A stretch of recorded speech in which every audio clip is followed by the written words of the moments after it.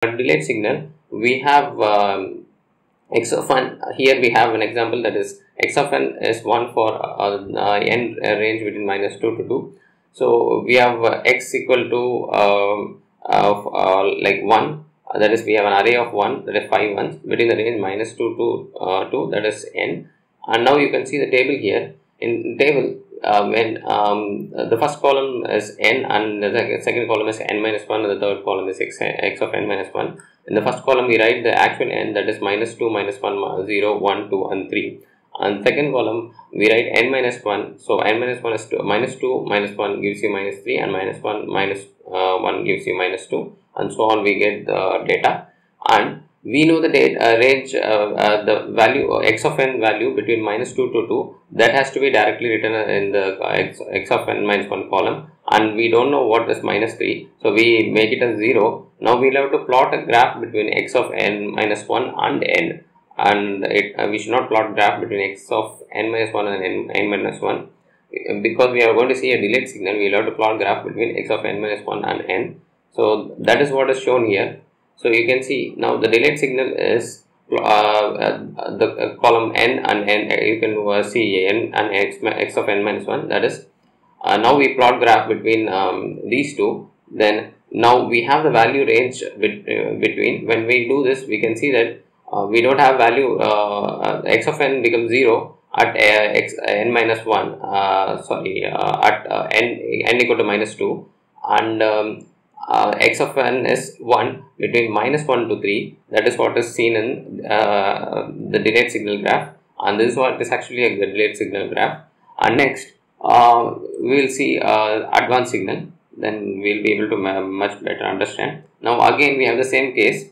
Um, x is 1 for uh, the range um, n range between minus 2 to 2 now what happens is the first column uh, n uh, we know n is my um, n is minus 2 to 2 so we just uh, see the second row that is minus 2 and the last row it end, ends up to 2 now when we add 1 to minus 2 uh, we have um, minus 1 and similarly when we add min, uh, uh, 1 to minus 1 we have 0 and so on we get um, values in n plus 1 but we uh, we don't have we can see the last row where we add uh, 1 to uh, the I mean, last row uh, that is you have to see the n column where we have 2 when in n plus 1 when we add plus 1 to 2 it becomes 3 but we don't have any value x of n value at 3 so we'll take another value on the top the first row we see uh, minus 3 which brings uh, when we add plus 1 it gives you minus 2 so we know the range of x of n minus between minus 2 to 2 uh, which is actually 1 for all all the range that is x of n is 1 for all minus 2 from minus 2 to 2 so we uh, write that in the third, uh, the third column which is x of n plus 1. Now we will have to plot graph between x of n plus 1 and n and that gives you advanced signal that is minus 3 to uh, the range is n range is minus 3 to 1 for which x of n is 1. Uh, so this gives you uh, uh, advanced signal. So it is like we just um, plot the graph between the first and the second column.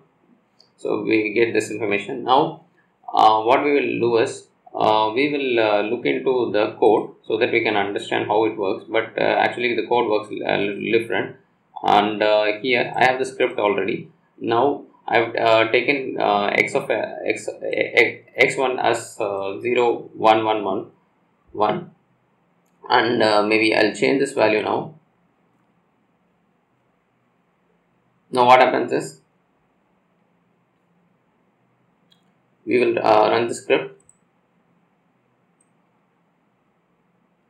So we can see uh, the delayed uh, signal. First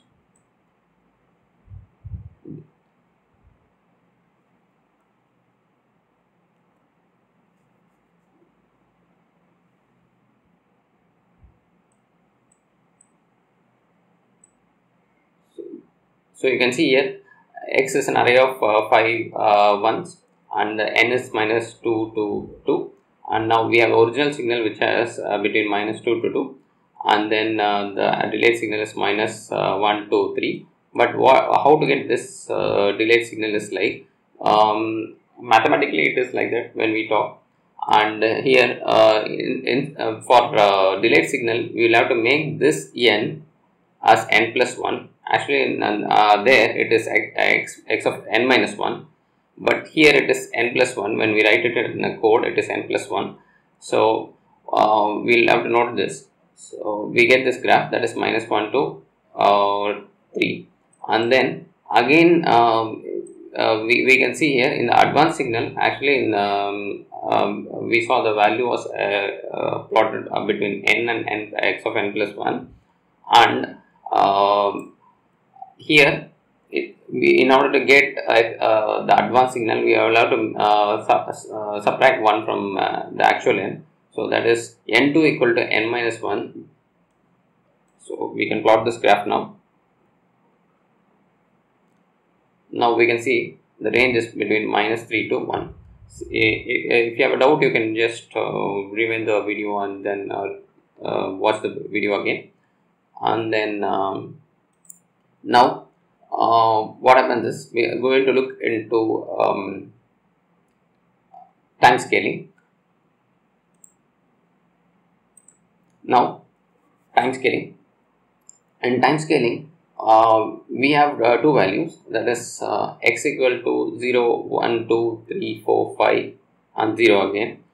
And uh, t that is minus 4 uh, minus 4 to 2 that is minus 4 minus 3 minus 2 minus 1 0 1 and 2 now what happens here is this t is actually taken as t by 2 so we write that in the second column that is minus 4 minus 3 minus 2 minus 1 0 1 and 2 and now we'll have to see what will uh, what would have been the expanded signal. So what we have to do is uh, if the expanded signal would have been something so that we uh, what would have been the exa- uh, expanded signal so that we get t by 2.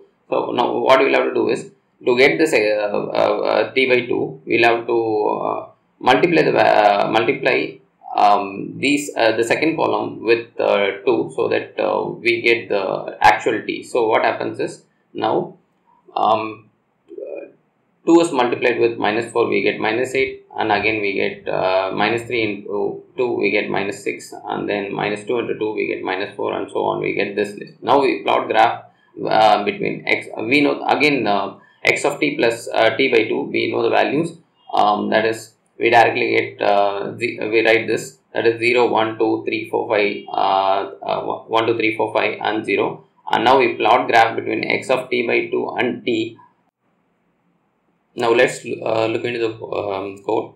Now we have x range that is 0 1 2 3 4 uh, 5 and 0 and uh, t uh, again we have an array that is between uh, minus 4 to 2 that is minus 4 to 2 uh, is a range here. We have range operator that is colon.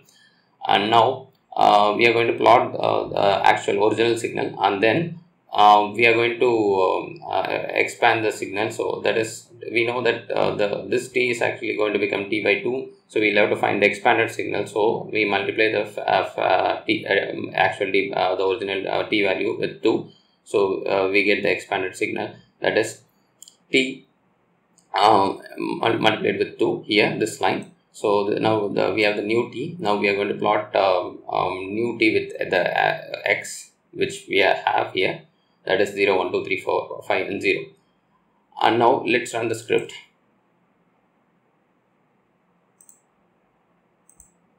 now we have the graphs here.